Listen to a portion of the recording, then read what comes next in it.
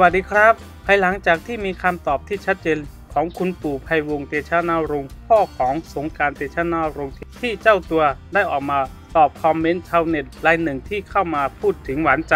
ของลูกชายอย่างแม็กพิลานีพงไทย มีใจความว่าถ้าเอาแม็ก มาเป็นลูกสะพ้ายเขาจะเป่าหูให้สงการแล้วจะทำให้ครอบครัวไม่ถูกกัน เขาห้าวห้าๆแบบนี้มันอันตราย ซึ่งทางคุณปู่ไพวงได้ตอบคอมเมนต์ดังกล่าวกลับไปว่า ปู่เผด็จการกว่าที่หนูเห็นอีกทำเอาชาวเน็ตหลายคนต่างชอบบอกว่าชอบใจในความคิด และการตอบของคุณปู่ไพวงมาก ซึ่งหลังจากกระแส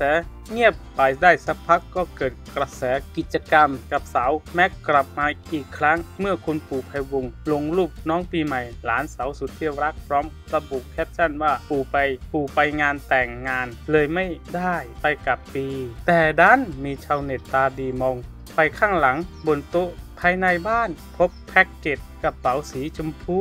คล้ายกับเป็นแบรนด์สบู่ของสาวแมททำให้ชาวเน็ตเกิดข้อสงสัย ถามว่าคุณปูขายสบู่ด้วยเหรอคะ เป็นคุณปูก็ไม่ได้เข้ามาตอบคอมเมนต์แต่อย่างใดทำให้ชาวเน็ตท่านอื่นๆ ต่างแซวในความตาดีไปอีก